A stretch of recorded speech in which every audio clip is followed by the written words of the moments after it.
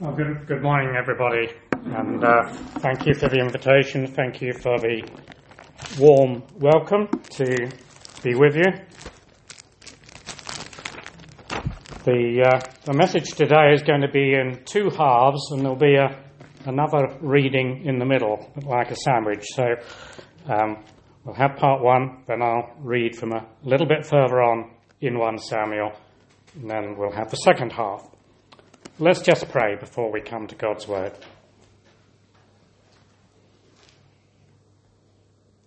God our Father, we have sung saying that the earth is filled with your glory, but we also want to pray that here in our church today, this place would be filled with your glory, that there may be a sense of the presence of the Holy Spirit with us, and that we would hear your voice speaking to us, each one. We pray in Jesus' name. Amen. Now, the first bit of the sermon is a little bit of license. We're going to listen in on an imaginary conversation. The scene is a village in ancient Israel near the borders of the Philistine territory, and the name of the village is Ebenezer. Now, I want you to imagine it's evening, the sun is setting on two women. We'll call them Mrs. A and Mrs. B. They're standing at the village well, drawing their water. We're going to listen to their conversation. Mrs. A. If you ask me for my opinion, Mrs. B, it's nothing short of scandalous. I mean, what sort of name is that for a boy? Ichabod. What's he going to think of that when he grows up? He'll be teased something rotten. Why couldn't he be given a nice ordinary name like Joshua or Daniel? Mrs. B. Quite right, Mrs. A. I can't imagine what got into the head of his poor mother in her final moments, the Lord rest her soul. I suppose it was the shock. It's quite bad enough for that poor Ben on, that on the day of his birth, he lost his mum, his dad, and his granddad. But to saddle an orphan with a name like that, you get a complex about it. Just imagine Ichabod, eat up your greens. Ichabod, why have you left those figs on the side of your plate? Anyway, what's it mean? Ichabod. It must mean something. Else, why would she have dreamt up such a ridiculous name for a lad? Mrs. A. Exactly what I asked my Micah as soon as he got back from the battle and had finished his tea. And he mumbled it was something to do with glory. But that's a girl's name, I said. You can't call a boy Glory. No, woman, he said. He's not called Glory. In fact, quite the opposite. The name means the glory is gone. Mrs. B, you can say that again. The glory's gone, all right. Those Philistines made mincemeat of us this time. And what's more, they've pinched the Ark of the Covenant. The cheek of it. That's where the Lord's glory is supposed to dwell. After all, though it's many a long year now since anyone I know has seen it. But now the ark's gone, the glory is gone from Israel. Mrs. A. Mind you, it's been going for quite a while, if you want my opinion. I blame his granddad, Eli. Though I know I shouldn't speak ill of the dead. He was a dear old soul 98 and blind as a bat. But he really should have taken those two sons of his in hand long ago. It was daylight robbery, what Hophni and Phinehas got away with at the sanctuary up in Shiloh. Last time my Micah went up to offer a sacrifice, they roughed him up and took all the best meat for themselves, leaving only gristle and bone for the Lord and they call themselves priests. Rogues would be a better title in my book. Mrs. B. Tut, tut. There's even worse than that, I can tell you. Now, you know I'm not one to gossip, but what the two of them got up to with the servant girls at the entrance to the tent of the meeting just doesn't bear repeating. And what did Eli do about it? He didn't lift a finger. No wonder the Philistines wiped the slate, clean with our lads. We got no more than we deserved. I think the Lord's given up on us. He's had enough of Israel this time. The Lord has left us. The ark's gone after all. Perhaps the Lord has gone with it. Mrs. A, you're right there. The glory of the Lord has departed. Hmm. Maybe Ichabod's not such a stupid name after all. Anyway, we've all got to rally round and look after the wee lad. He's got nobody else left. And off they went, muttering Ichabod under their breaths. Now, as I've already said, you won't find that conversation in your Bible. You won't mention, find any mention of Mrs. A or her husband, whom I called Micah, or Mrs. B. But actually, all the other characters in the conversation you will find in the first four chapters of the first book of Samuel, described much as I've described them. There's Eli, the aged priest of the Lord at Shiloh, a good and godly man, but gone a bit soft in his old age. His two sons, Hophni and Phinehas, priests after him, but two of the most greedy and immoral figures ever to carry the title of priests. It was Phinehas's wife, giving birth prematurely to a son following the shock of the news of the loss of the ark and the deaths on the same day of her husband and her father in law.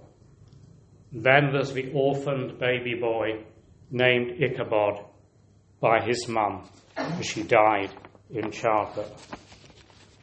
It was a low point in the history of God's chosen people, Israel. It was a time when the sins of the past had caught up with her and the outlook for the future seemed as bleak as bleak can be. You know, there are times in the experience of the people of God, in our experience as Christians, when the consequences of the past seem to leap up and grab us round the throat. In one way or another, we know we've messed up our lives, but what's done can't be undone, we may say. All our yesterdays cast a long dark shadow over today and tomorrow. However much we twist and turn, we can't seem to escape the shadow. Yeah, we can deeply regret mistakes that we have made. We still have to live with the consequences of those mistakes. And one of the worst things is that God, who was once so real and so close, can sometimes seem very far away. Just as the moral and religious corruption of Israel had led to defeat in the battle against the Philistines and the capture of the ark, well, so in our own lives, we can experience defeat. And if we allow what we know to be wrong to continue unchallenged in our lives, it begins to fester like a sore and gradually infects our whole relationship with God, and the joy can begin to fade. The victories become more rare, the defeats become more common. Before long, we might be at the point reached by Mrs. Phinehas when in her despair and dying agony, she named her infant son Ichabod. The glory of God's presence can sometimes seem a fading memory. That's a pretty depressing message, you may be thinking. I didn't come to church this morning to be depressed, to hear bad news. Well, neither did I, actually. Take heart, we haven't reached for good news yet even in Israel's darkest hour, routed in battle, with the Ark of the Covenant in enemy hands, there was a ray of hope. Because there's another character in 1 Samuel chapters 1 to 4 whom we have not mentioned so far, And it is, of course, Samuel himself. Samuel, you'll remember, was a child who was the miraculous gift of God's grace to the childless and desperate Hannah, whom Hannah had freely given back to God in grateful dedication. We're told in chapter 2, verse 26 of 1 Samuel, that this young lad continued to grow in stature and in favour with the Lord and with men. He continued to grow in stature and in favour with the Lord and with men. I wonder whether that rings a bell in your mind. Because it's exactly what Luke tells us about the young Jesus in Luke chapter 2, verse 52. Let me just read it to you. Jesus grew in wisdom and stature and in favour with God and men. So, the story of Samuel is actually one of the inspirations in the mind of Luke as he talks about the miraculous birth, not of Samuel, but of Jesus. And Mary welcomes the news of God's amazing grace to her in a great song of praise, which the church calls the Magnificat in Luke chapter 1. When you get home, have a look at that. Look at Hannah's song in 1 Samuel chapter 2, and then look at Luke chapter 1, at Mary's song. And the one mirrors the other. Mary was very much uh, thinking about the story of Samuel as she uttered that great song of praise. So Samuel is a figure who foreshadows, points towards Jesus. He is somebody who is close to the centre of God's plan of salvation, and once he comes into the picture, there's hope. So, although the first half of the sermon sounds a bit gloomy, second half of the sermon contains a message of hope. I'm going to read from 1 Samuel chapter 7, beginning at verse 2, going far as verse 13. It was a long time, 20 years in all, that the ark remained at Kiriath Jearim. And all the people of Israel mourned and sought after the Lord. And Samuel said to the whole house of Israel, if you are returning to the Lord with all your hearts, then rid yourselves of the foreign gods and the Ashtoreths and commit yourselves to the Lord and serve him only, and he will deliver you out of the hands of the Philistines. So the Israelites put away their Baals and Ashtoreths and serve the Lord only. Then Samuel said, Assemble all Israel at Mizpah and I will intercede with the Lord for you. And when they had assembled at Mizpah, they drew water and poured it out before the Lord. On that day they fasted, and there they confessed, We have sinned against the Lord. And Samuel was leader of Israel at Mizpah. When the Philistines heard that Israel had assembled at Mizpah, the rulers of the Philistines came up to attack them. And when the Israelites heard of it, they were afraid because of the Philistines. They said to Samuel, Do not stop crying out to the Lord our God for us, that he may rescue us from the hand of the Philistines. Then Samuel took a suckling lamb and offered it up as a whole burnt offering to the Lord. He cried out to the Lord on Israel's behalf, and the Lord answered him. While Samuel was sacrificing the burnt offering, the Philistines drew near to engage Israel in battle. But that day, the Lord thundered with loud thunder against the Philistines and threw them into such a panic that they were routed before the Israelites. The men of Israel rushed out of Mizpah and pursued the Philistines slaughtering them along the way to a point below Beth-kar. Then Samuel took a stone and set it up between Mizpah and Shen. He named it Ebenezer, saying, Thus far has the Lord helped us. So the Philistines were subdued and did not invade Israelite territory again. Now, there's a few things I just want to draw out of, uh, from that second passage and then to link it together with the first one. The first thing to notice is that it took quite a long time for matters to be put right. The ark remained in Philistine hands for 20 years, we're told in verse 2. And sometimes we have to wait for God really to put things right in our lives. Being Christian doesn't mean that we believe God will always wave some sort of magic wand and at a stroke all our problems are gone. We still have to live with the consequences of our past mistakes. It may take God time to heal all our yesterdays. That's the first thing to notice. 20 years it took in their case. The second thing is that the, at the end of that 20 year period, the people of Israel at last begun to do what they needed to do at the beginning. They begun to search their hearts to try to find their way back to God. Verses 2 to 4. And Samuel says to them, If you are returning to the Lord with all your hearts, then do something.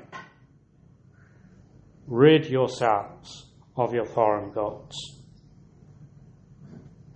So that the first thing we need to do when we're struggling with our past sins, our past mistakes, is to acknowledge our need, to be honest with ourselves, to be honest with God, and maybe admit, well, the glory is gone a bit from my Christian experience. And God's power doesn't seem as real as it used to. But once we've taken that first step, of searching our hearts and beginning to search for God, God's grace takes over and the next steps begin to open up before us. Third thing to notice is that Samuel, who's now a grown up man, exercised some decisive spiritual leadership. He stuck his neck out. He said what needed to be said to the people. If you really mean business with God, if you're serious about trying to find your way back to Him, well, then there has to be some action. You have to make some hard choices. Put away those foreign gods and idols in which you've trusted.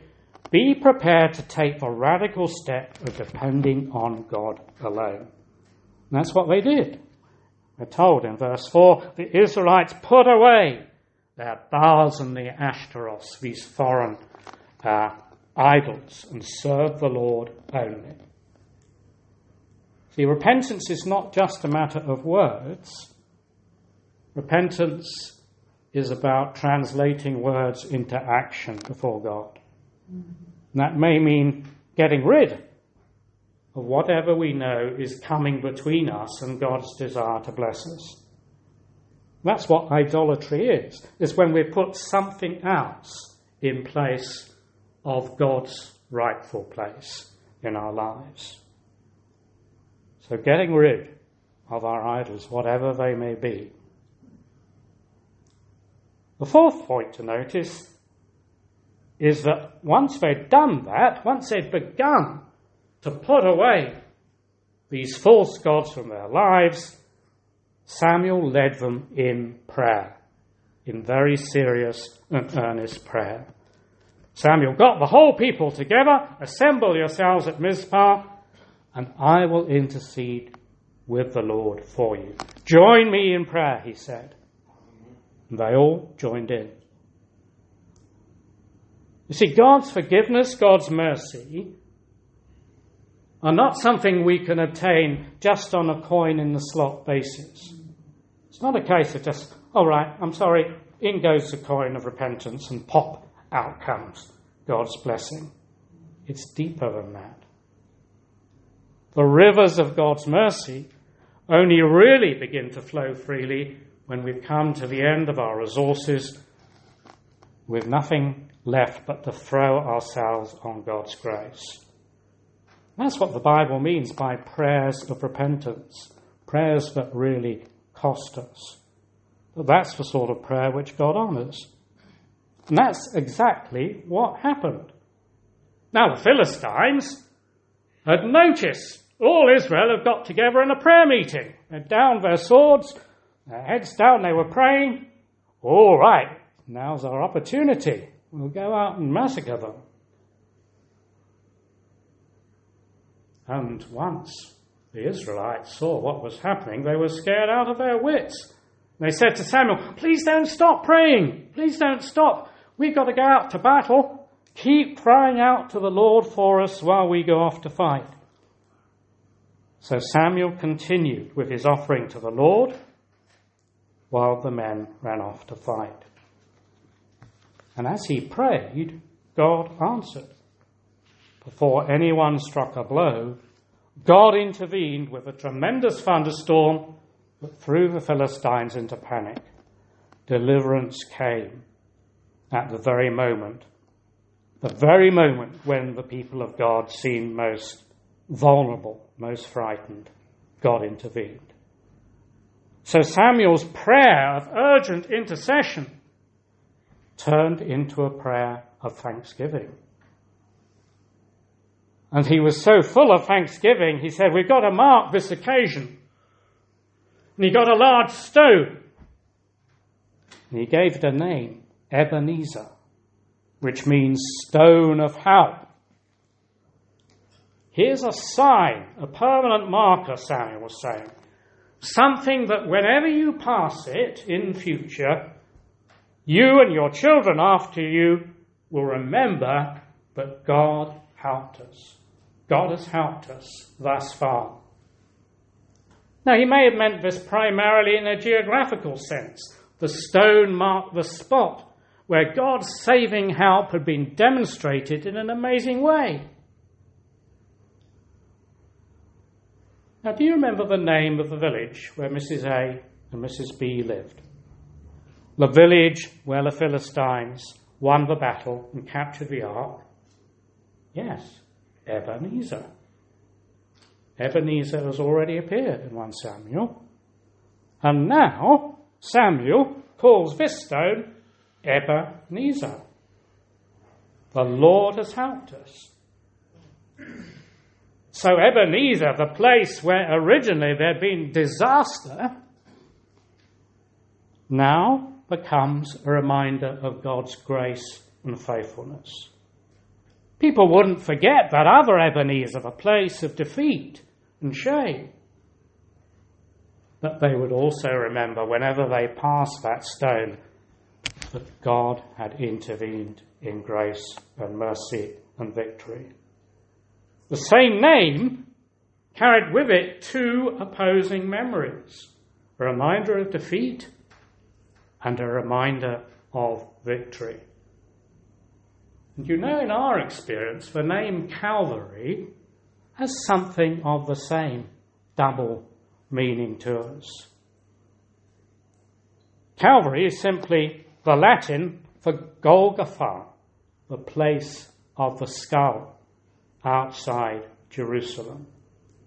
An ugly and fearsome place of execution, but we also believe it was the Jerusalem landfill site, a rubbish dump, the place where everybody left their rubbish. And when we think of Calvary, we're reminded of the rubbish, the garbage, the trash of our own lives, our own sin and rebellion against God, everything dirty in our lives and the lives of the world that drove Jesus to the cross. So when we turn our eyes to Calvary, yeah, we're reminded of the rubbish that God has had to deal with.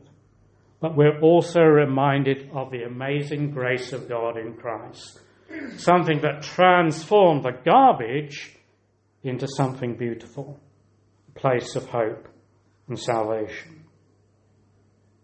And I think Samuel also intended when he called the stone Ebenezer to remind the people that God had been faithful down the years in helping his covenant people for all of their weakness, for all of their sin.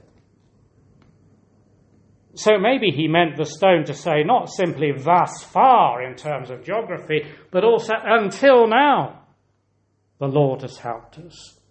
Whenever we have really needed him, he has never let us down. And certainly that's how many Christians down the years have interpreted this verse. Thus far has the Lord helped us. If you go into the Welsh valleys, you will find quite a lot of little stone chapels called Ebenezer. Because their founders wanted to proclaim through a visible construction of stone their faith in the covenant faithfulness of God that endures from generation to generation. Ebenezer. Now, we don't generally erect stone pillars these days when we want to say something clearly to the world. We're more likely to have a big flashing neon sign. If we were to erect a big garish neon sign outside the church, it wouldn't mean a lot to people going up and down Queensferry Road if we were to stick the word Ebenezer on it. What's that about all about, they would say. But what if it were to say 24 hours a day, seven days a week, 365 days a year, God will never let you down. God will never let you down. Perhaps the message would begin to sink in and people passing might say, oh, all right, I wonder what that is all about.